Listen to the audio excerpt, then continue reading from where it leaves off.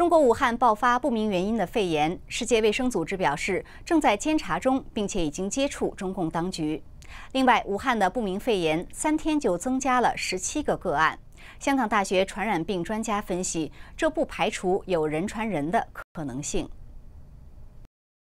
中国武汉因不明原因引起肺炎疫情，中共官方在上个月三十一日宣称有二十七个病例，过了三天，武汉卫健委又公告。符合不明原因的病毒性肺炎患者共有四十四例，其中重症十一例，并追踪到一百二十一名接触者。短短三天就增加了十七宗个案，引起学者担忧。短时间之内呢，就佢嗰个确认嘅个案呢，由二十七宗增加到四十四宗，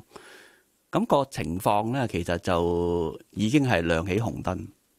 咁所以呢，我哋喺翻香港呢，就。要认清咗呢件事嘅本质同埋佢嘅严重性。香港截至四日累计八宗与武汉相关怀疑病例，其中五人已出院。大学感染及传染病中心总监何博良接受媒体采访时表示：，从武汉市卫生健康委员会的通告内容，在短时间内增至四十四宗，当中有百分之二十五的个案属严重，有充分理由相信事件涉及呼吸道的新型病毒。且病毒有一定的杀伤力，估计武汉可能有人传人的情况。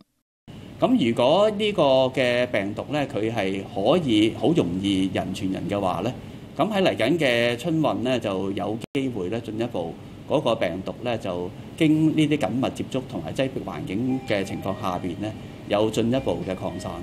对于武汉不明肺炎的病毒源头，外界多揣测华南海鲜市场暗售野味，而病毒就是从野兔、土拨鼠等动物传到人身上。何伯良指出，如果源头是来自野味或野生动物。相信在内地有供应链，除了供应到武汉外，可能也会供应至其他市和其他省份，对当地屠宰和进食的人群都会构成传播风险。政府宣布即时启动严重级别嘅应变计划，显示有新型嘅传染病对人类健康造成新而严重风险。何博良表示，香港每日有大量旅客以不同途径从中国进入香港，因此香港机场、高铁以及前线会接触病。人的医院，所有应对措施都应该从严从紧。香港区议员郭子健也在脸书发布一百二十位香港区议员的联署信，对香港当局提出六点要求，包括公开受感染地区以及病人数目，避免重演二零零三年 SARS 病毒由中国境内传播香港的悲剧。